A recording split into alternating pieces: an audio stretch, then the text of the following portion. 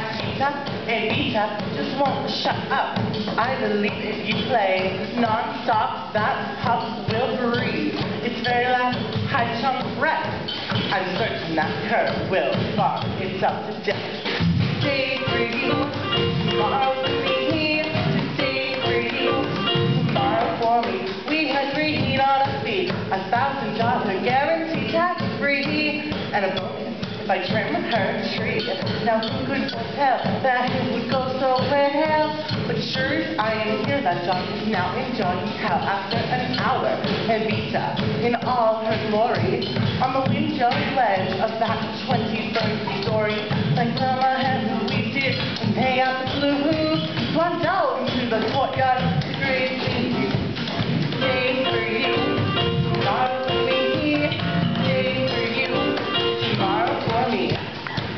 Palm Street where I met my three, where he was wounded and he was loaded on the cold concrete.